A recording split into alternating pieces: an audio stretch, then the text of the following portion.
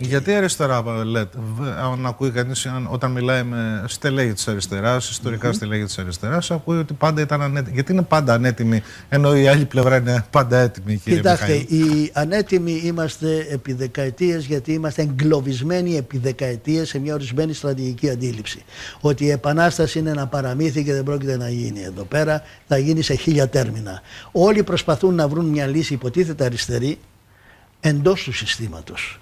Και αυτό δεν είναι καινούριο, δεν άρχιζε με το ΣΥΡΙΖΑ. Υπήρχε και πιο πριν. Και πώς φτάσαμε στη Βάρκιζα και πώς χάσαμε και άλλου είδους μάχες. Η μη ετοιμότητα οφείλεται, υπάρχει μια κρίση στην ηγεσία της ίδιας της εργατικής τάξης και της αριστεράς. Χρειάζεται να λύσουμε αυτό το πρόβλημα, όχι σεκταριστικά, όχι παριστάνω ο καθένας ότι έχει το μονοπόλιο της αλήθειας. Θα χρειαστεί διάλογος, θα χρειαστεί ζήμωση, θα χρειαστούν μεγάλες εμπειρίες. Κοιτάξτε, ο, ο Τρότσκι, μια και είμαστε οπαδοί του εμείς, έλεγε το εξής: Όλοι κατηγορούν τον συντηρητισμό των λαϊκών μαζών είναι συντηρητικές. Και έλεγε, κοιτάξτε, αυτό ίσως είναι και ο πιο επαναστατικός παράγοντας. Αν η συνείδησή μας ήταν πλαστική και αυτόματα προσαρμοζόταν στις αλλαγές της πραγματικότητας, τίποτα δεν θα άλλαζε στην δράση των ανθρώπων.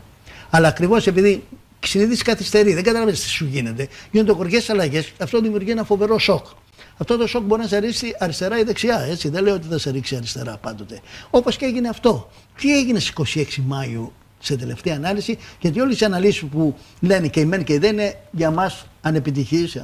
Και... Για, για εσάς τι έγινε; Ακριβώς. Κοιτάξτε, θα, θα αναφέρω μια πηγή που δεν μπορεί να κατηγορηθεί με κανέναν τρόπο σαν αριστερή κάνω, μην πω τροτσκιστική ή επαναστατική. Financial Times προηγούμενης Δευτέρας. Αναφερέ που όλοι λένε εδώ και οι Μητσοτακέοι περισσότεροι ότι ξέρετε οι αγορές λένε έρχεται δεξιά θα κάνουμε επενδύσεις. Λέει το αντίθετο άρθρο του Financial Times της προηγούμενης Δευτέρας. Λέει το εξής. Οι, οι επενδυτές μένουν σκεπτικοί αυτή τη στιγμή. Παρό, όχι μόνο λόγω της διεθνούς ύφεσης που θα επιδεινωθεί. Για Ελλάδα μιλάμε πάντα. Για ποιο λόγο; Λέει τέσσερα χρόνια οι κοινωνικές εντάσεις κρατώνταν από την κυβέρνηση ΣΥΡΙΖΑ κάτω. Είχε ένα καπάκι σε αυτό το πράγμα. Εδώ και Σόιμπλε είχε πει ότι αν τα μέτρα που πάρθηκαν με το τρίτο μνημόνιο τα έπαιρνε η Νέα Δημοκρατία θα γινόταν εξέγερση στην Ελλάδα. Και είναι ο τελευταίος που θα μπορούσε να πει καλά λόγια για τον Τζίπρα. Εντάξει. Αλλά τα είπε. Και αυτός και Μέρκελ. Λοιπόν, αυτές οι εντάσεις είναι που τίναξαν το καπάκι το 26 Μαΐου και το τούμπαραν δεξιά. Πιστεύετε ότι οι ίδιοι κοινωνικοί λόγοι, οι ίδιες κοινωνικές εντάσεις και μάλιστα με πιθανότητα ένταση, ε, ε, όξυνσής τους στο μέλλον θα επιτρέψουν να μας βάλει ένα καπάκι από πάνω από το κεφάλι μας το τρίο Κούλης Μητσοτάκης Άδωνης Βορύδης; Τι με τα τσεκούρια, με τις βρισιές και με τις τσιθριγλιές του άλλου ή με τα άγρια νεοφιλελεύθερα μέτρα.